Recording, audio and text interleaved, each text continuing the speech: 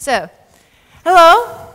Today I'll be talking about some stories. So I will take you to a trip about agile transformation. And uh, just at the beginning, how many of you are from some very small company? Few. Some mid-size, up to 500, for example? And more than 500? Okay. So for all of you, I hope you will find some aspects which sounds familiar for you, and some which you say, well, we are quite glad it's not about us. So, but let's start to think a little bit uh, what agile mean to you. Just give a picture in your head, think about some transformation you came through. And when I came to the companies, they sometimes say, well, it's we knew Agile Manifesto. That's all these four principles, boring. And we knew Scrum. So Agile is about Scrum, right? It's the same thing. Well, not that quite, but uh, most of the companies think so now. Maybe some will say, well, then we knew Kanban. It's uh, another buzzword. Well, good as well. And very few say, well, there are some extreme programming as well, XP practices. And we use them, by the way, or not.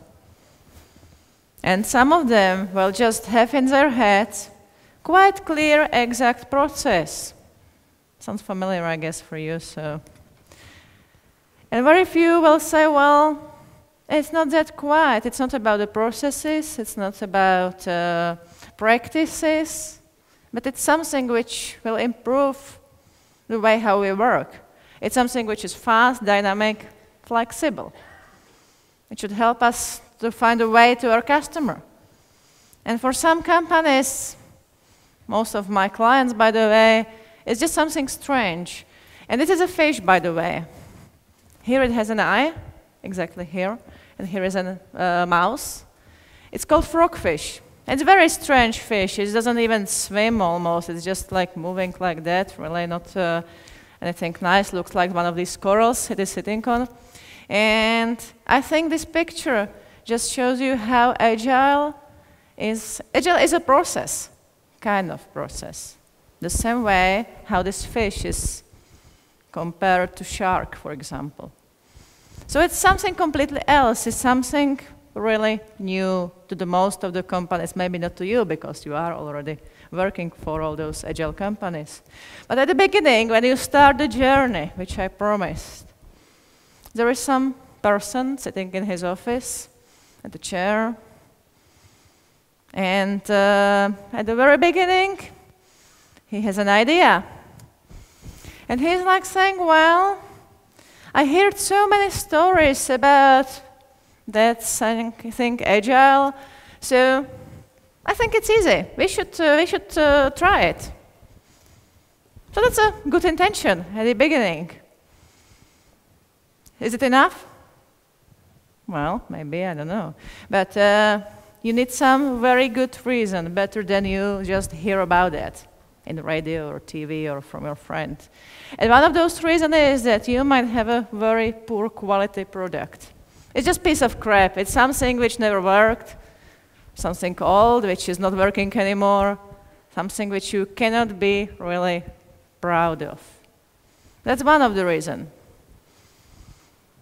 Second, maybe you feel not efficient.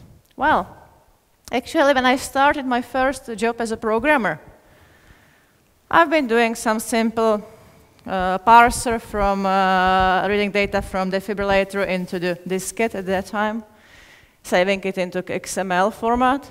And I did like the programming job for two weeks, then the testing, all, all the automation in uh, another two weeks, and then these huge piles of documentations for at least one month.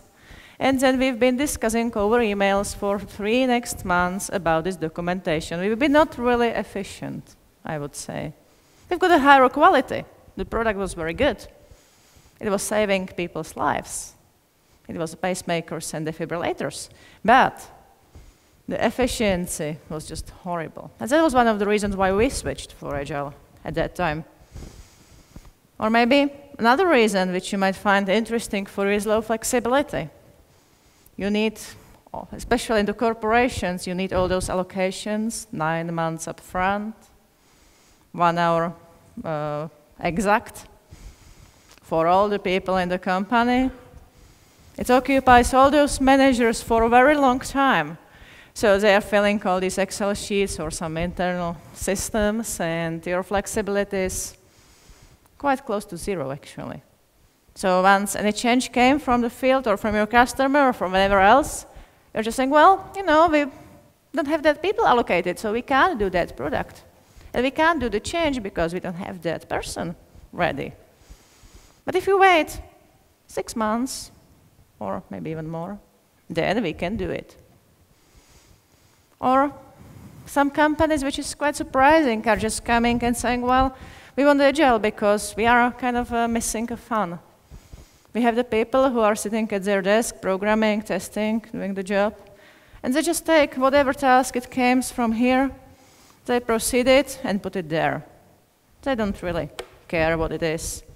If you tell them do it right, they do it right. If you tell do it the other way, they do it the other way. They don't think about it. But that's another reason. If you want more fun, that's kind of a thing to do. Or maybe you just need this crystal globe to predict when your product is done. That's another reason why you might be willing to watch and see what Agile brings. It's about the poor predictability. And there is another reason which is kind of common. They're just these managers sitting in their offices, they are just saying, well, let's try something new. It's a good idea. I heard a lot about that agile thing. It sounds good. We will be more flexible, cheaper, more efficient. Our customer will be more satisfied. There will be no bugs. They just now this word it's nothing special, but there it would be perfect. So he's sitting back in his office and saying like, well, how shall we start? So let's read some blogs, articles, and let's buy some book and um, uh, read the websites. And uh, it seems all so easy. It's a piece of cake, by the way. Just a few principles, people over the processes, yeah, yeah, blah, blah, blah, and so on. Well, some iterations, some stand-up meetings, retrospectives. It's not too bad. We can implement it just like that. So he's saying, well, starting from tomorrow, we are agile. And we know enough. So let's try, but the reality is often not so nice. It's kind of depressing sometimes and so on. So you start with your developers, for example. They are sitting in their office. They used to be sitting in their offices and just sitting next to their computer and coding. Doesn't look left or right. They've been just coding, whatever it comes from this side. And what you say was just told those people, well, now you are a group of people. You're a team, by the way. And you will be doing Scrum, and you will be sitting together and having fun and doing all those iterations and all these discussions. But what happened, actually? In most of the companies, you've got three departments. Here, these two guys, they are developers. And they love coding. They don't like much talking around, and uh, they are not really into talking to the customer either. And their ultimate goal is to write a piece of code in order the requirement is working and just throw it away to somebody who is called accidentally the tester. So yeah, we have those testers. They are coming from different departments. They are not really got used to working with, the, with these two guys, why they should. They are waiting at the other side of the wall and catching the pieces of a code and searching for a bugs. And if they found one single bug, they just throw it back and say, well, it's not working. And that's pretty much all. It's nothing about the cooperation, it's nothing about helping each other. although things are kind of missing. And of course, in some companies, we have the analysts. Again, hidden in their walls, they're just writing the documentation about the code. So what happened at the beginning is that you have these three groups. They are hidden between these walls. And you just say, well, now you are not three different departments, you are in one team. And you should cooperate. You should talk together. You should work together. You should even sit together and do the pair programming. Or maybe you, as a tester, might want to sit with this guy and help him to write a code without the bugs. And maybe even with that one and you with these two as well, and uh, you should teach the team how to do really a good software because you are the expert on all the requirements and you should help the analyst, by the way, as well. So that's kind of thing. And there is another thing which is happening here. All those people mostly attend to some schools, and then uh, at school, you know, if you should help each other, they call it cheating. So you don't do that much. And now at work, they should tell you, well, help each other. It's not about you to find a solution. And then most of them came from the university. And at the university, they teach you, well, you are the only expert. You will find solution to any problem ever. Which is cool, by the way. So they don't ask for help because they will find the solution eventually. In one day, one week, maybe more, who knows. So that's all we are going to break. And how they feel? Well, nothing really special. They are talking too much, they don't have the time to work. They are not really happy about the transformation, about the whole agile. So when the manager came and asked, well, how do you like it, guys? Well, they said most likely something like, well, you know, we don't like it much. We don't have a time to work. It's really so much talking, and it's really strange, this process. Maybe it's for a very small company. That could work. And if you are in a smaller company, you're saying, well, you know, maybe it's for some bigger company because we are already efficient. Or whatever else, maybe it's for the company with a different product. So they just don't feel comfortable. And then next, you're just building more of those teams and put all the iterations in and saying like, well, we do at the beginning of the iteration the planning, and then uh, we do the customer demo and show it to the customer. And it's all the mess all around your company. Everybody is just moving somewhere to stand up, from stand up, we want you at our stand up, and so on and so on. So all you hear are just complaints. They just don't like it, usually. But the reason why is that just, they just follow the process without real understanding. If you ask them, why did we switch for Agile and or Scrum or whatever, they usually say, well, well our manager wanted. Or it was something new we want to try. We don't know really why. They didn't explain. So the person is sitting back in his office. He did this tour around the team, walk around, ask those people, are you happy? Not really. And he's saying, well, like, you know, it seems like Agile is not for us. I've got such a huge expectation. It would be such a great, and now it's not for us. But it's about the climate and the culture. And Agile will eventually change it. So this change is the most difficult change ever. So if we want to be successful, you must focus on these two things. And you must understand what it's really about.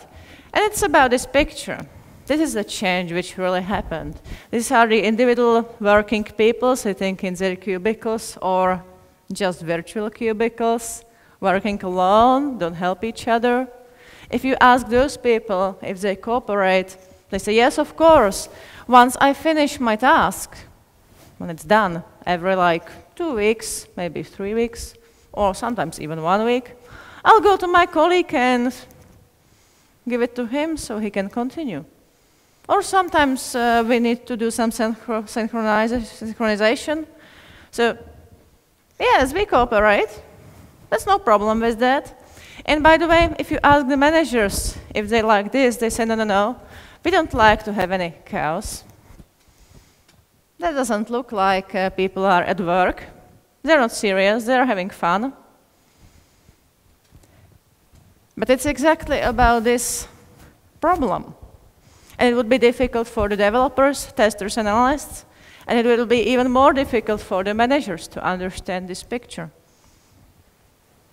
And you must learn how to look at your product from the business perspective, from customer's eyes. So you have to be sitting in the head of your customer, looking through his eyes into what you are doing. That's again one of the most difficult steps you have to do. And then from internal perspective, it's team responsibility to find out how you are going to work. Because Agile is not anything strict, it's not a cookbook. So no one can help you, well, lots of people can give you advices, but no one can decide instead of you how are you going to work and how are you going to put it together. So it's a team responsibility. You have to find your way, how to be successful, happy, flexible, and so on. And it's about self-organization. So the same way as these ants are looking for a way and trying to find out where to go next and helping each other, rely on each other, the team should react. And I have a video for you. What does it mean, the self-organization? So I will show you.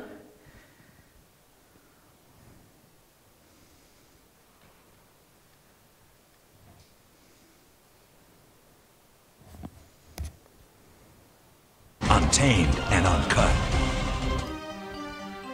Winter in the Antarctic Peninsula. Tom and Sharon Merritt are aboard a tour ship, and the sights are breathtaking. Suddenly, over the loudspeaker, the announcement they'd hoped for. Orca spotted. The Merritts and the rest of the passengers race to the ship's bridge level. What they witness is an event so rare, it's been documented by scientists only 13 times. And never photographed. These orca are going to attack this seal. A family of orcas has set its sights on a crab eater seal resting on an ice floe. Watch as the orcas raise their massive eight ton bodies vertically to peek over the ice floe. Whale biologist Dr. Ingrid Visser says the movement is called spy hopping. The ice floe was about 25 feet square, uh, but it kept getting smaller, I think, through the action of the orca. And it appears they don't like the location of the flow either. The orcas attempt to isolate it from nearby flows. They're twisting the ice. Seven eighths of the ice flow is actually below the surface. But these behemoth creatures are able to use their strength to strategically position the floe. They spin the ice around and they move other pieces of ice away so that they can line it up perfectly to make the biggest wave possible. This highly sophisticated hunting technique is used mostly to help teach young calves how to hunt. Using her blowhole, the matriarch of the pod sends out vocal signals to summon other adult orcas to line up perfectly and then charge the ice, swimming at speeds up to 35 miles an hour. The wave created hurls the doomed seal to the other end, where a hungry orca anticipates a fresh meal. With the second largest brain in the animal kingdom, the orcas are very intelligent. They craft a plan. With a series of clicks and whistles to communicate, the matriarch brings in more members of the pod. Watch carefully as these orcas execute with perfect synchronization. Oh yeah, here they go. And we're five orca. One orca is sitting stationary and it blows this big burst of bubbles, which we think was actually the cue to tell the other orca to come in. You can actually see how the wave created by the crafty orca will simply slide the seal off the floe. It's all over. No, not quite. Yeah, it's all over. I had some pangs of pain for the plight of that poor crab. So, how did you like such a self organized team?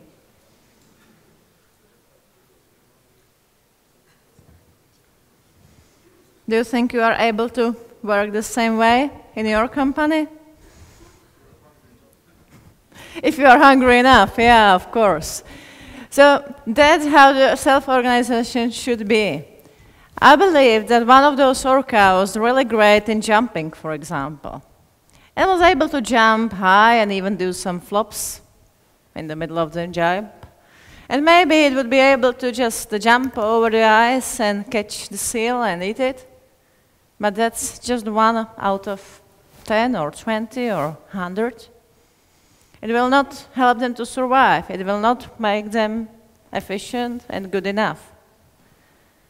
So that's the same with the software development team. You have one person who is really great Java programmer, and you have another one who is able to break any software ever and is able to find any bug those developers did. So your customers won't find it. Both of them are very useful for the team. They can help the team if it's uh, the time. But they are not doing just that. If some others need help, they just come together and they are much stronger in that. So that's about the self-organization. And then you have another problem in front of you doing the transformation.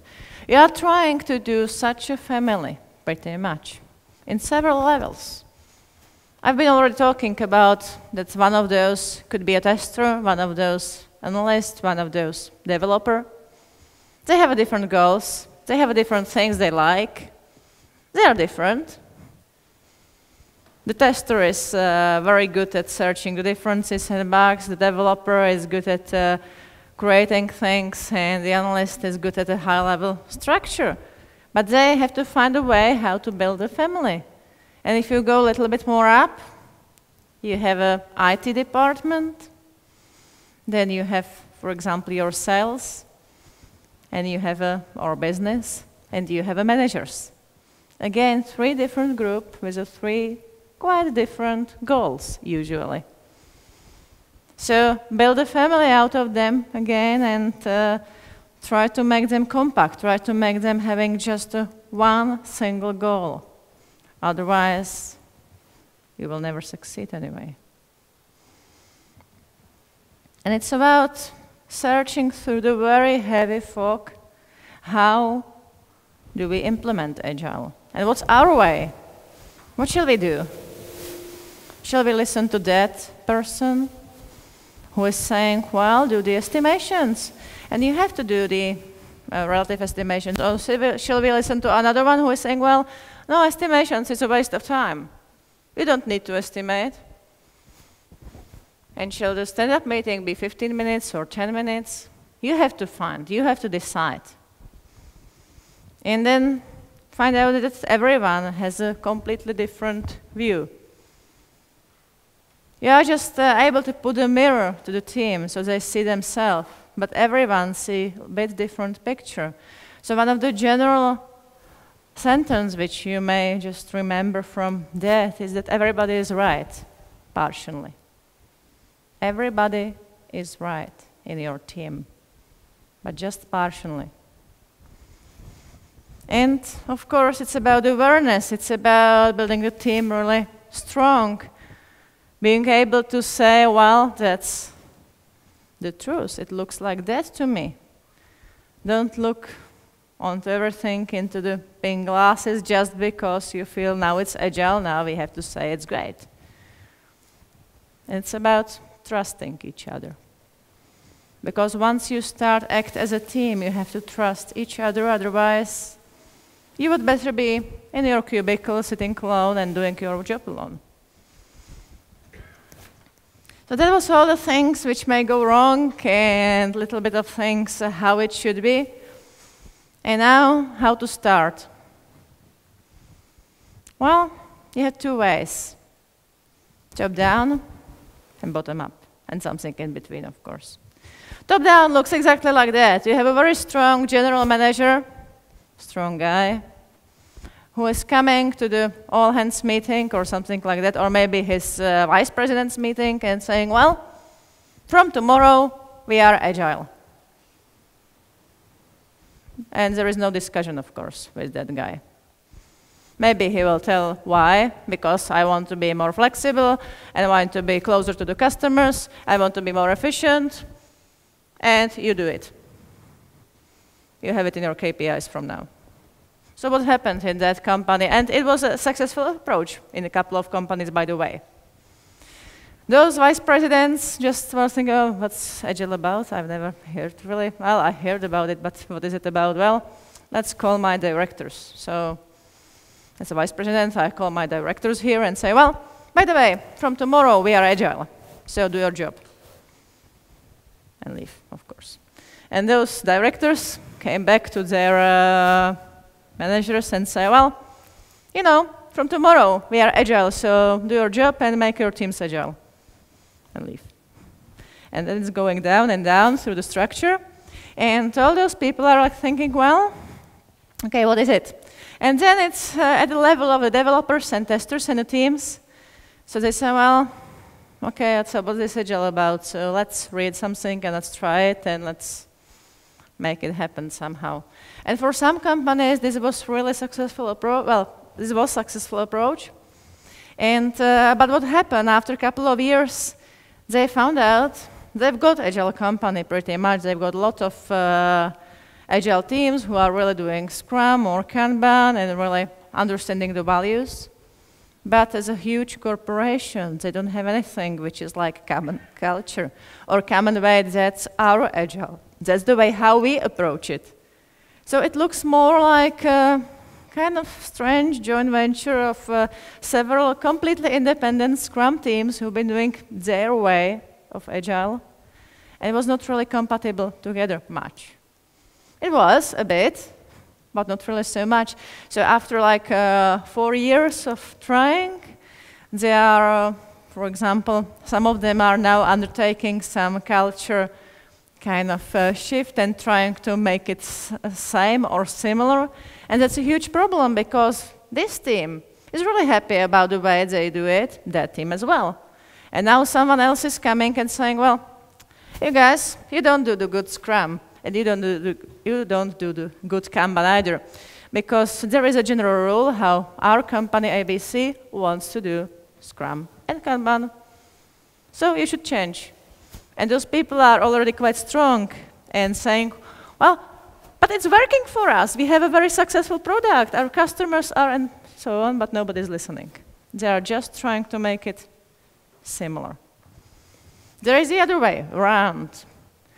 And usually it's when you don't find such a customer, uh, such a general manager who is really strong and really wants Agile for some reasons. Then you just do some kind of a playing or experimenting with Agile, and you try to go bottom up.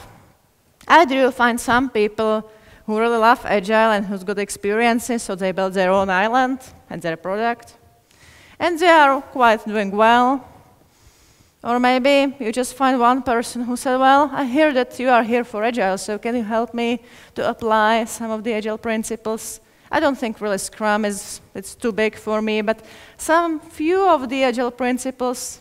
So we built a very tiny island of agility.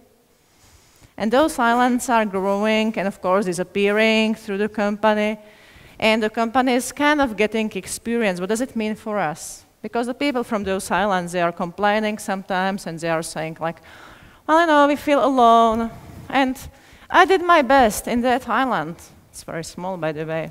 I've been living there at that island trying to be more agile, but nobody understands me.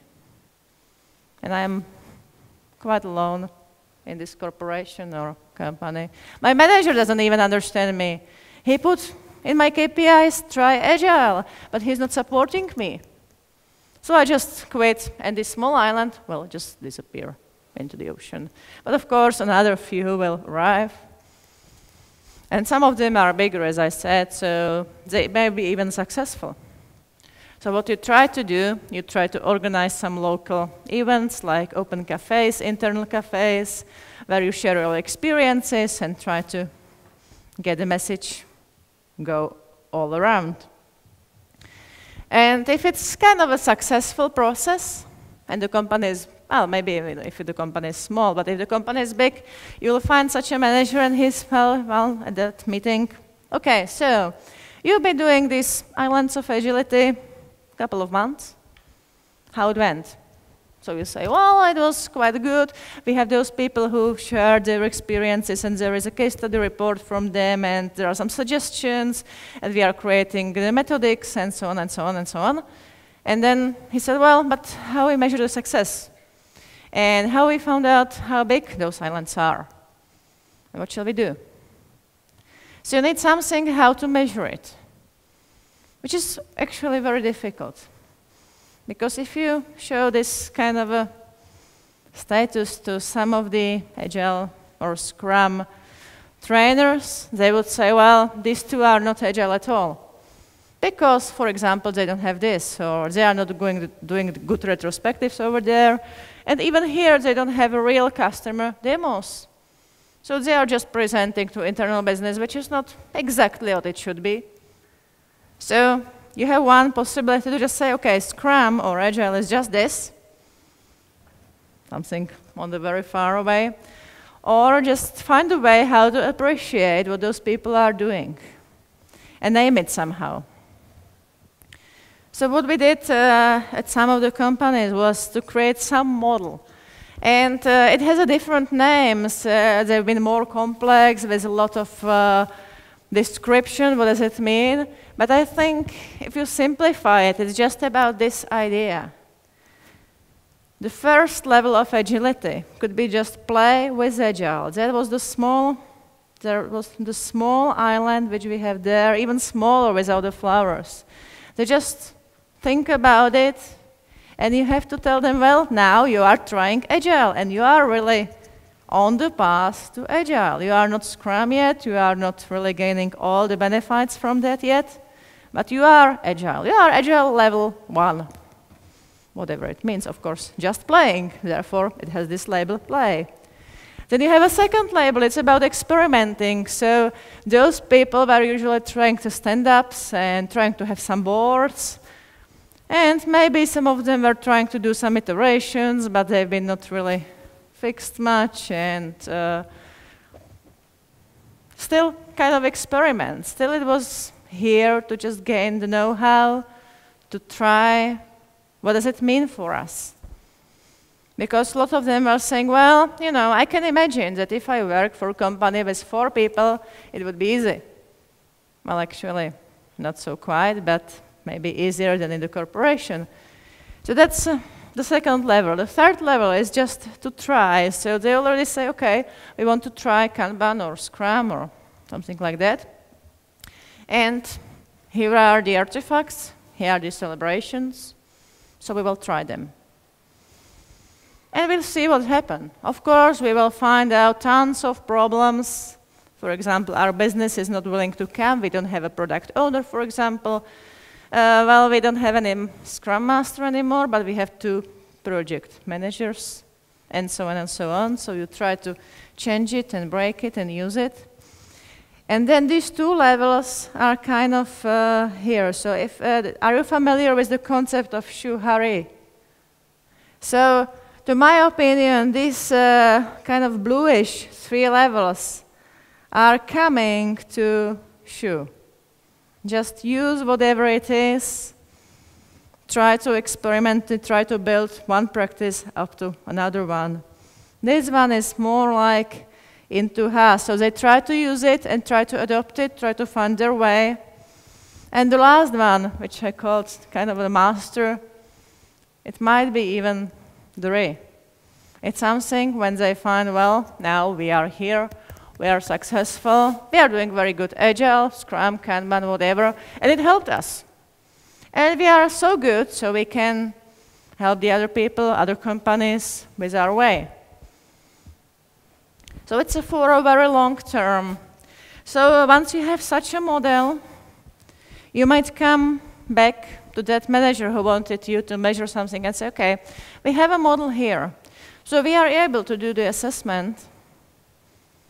How many islands are level one? how many islands are level 2, and so on and so on. And he might agree or he might uh, want to say, okay, how are you going to assess? So are you going to put this form and they will fill it? Then they say, well, no, that's not uh, the way how it works, so that's the problematic part as well. But let's say they agreed on such kind of a model.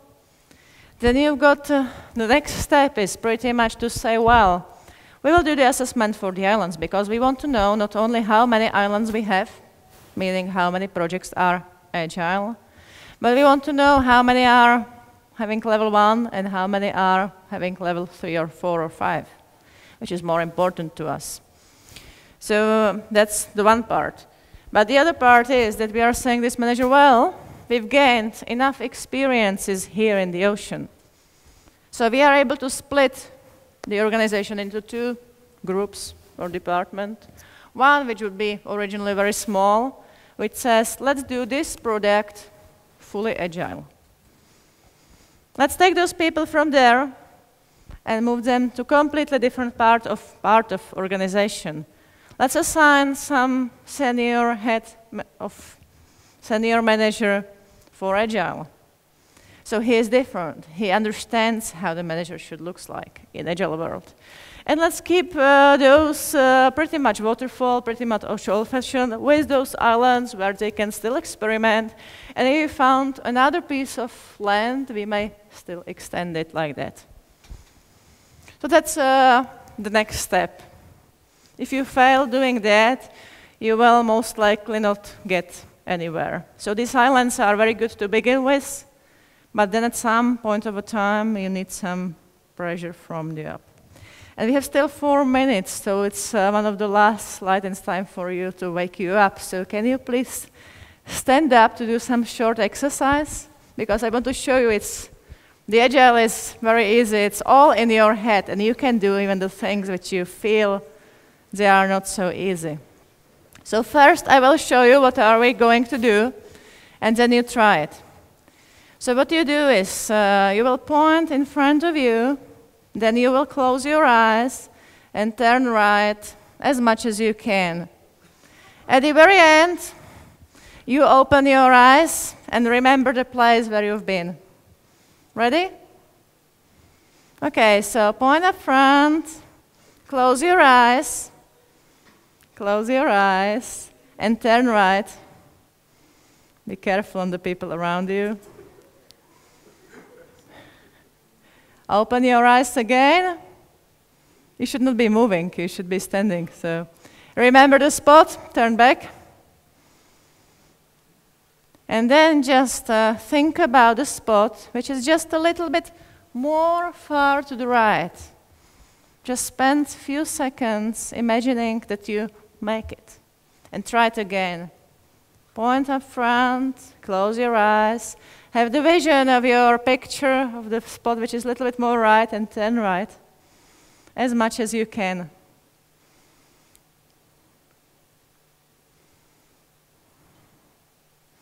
Open your eyes. So, for how many of you it was more far than the first one? Quite a lot. Thank you very much. It's all in your head. And if you remember this, you will find out it's not so difficult. You can do it. You can adopt Agile. It's very easy. So thank you very much. And if you have any questions, there is some networking party outside, so I'll be around. Or um, I don't know if we have two minutes, so you can ask a few questions if you like.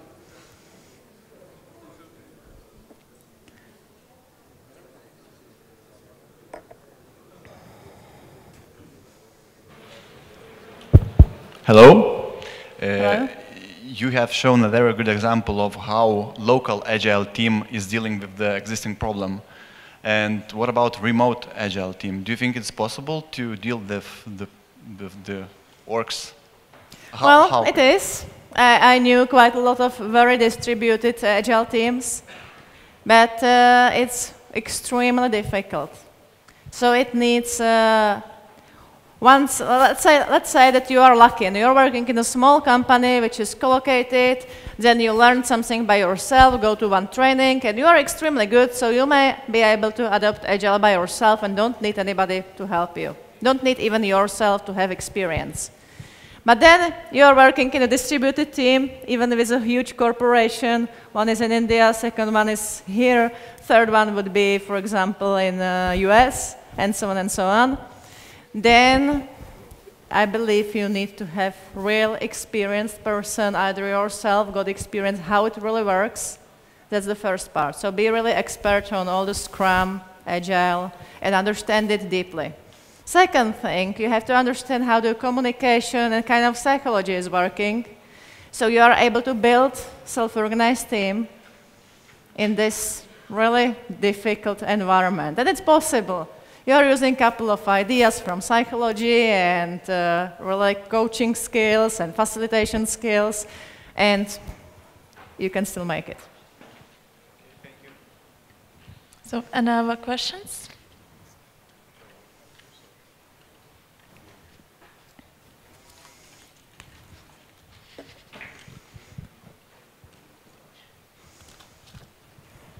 Hello, you mentioned the importance to change the attitude that the team uh, should care uh, and should look, uh, should look via business eyes about the task they do versus just delivering tasks in a certain way they used to.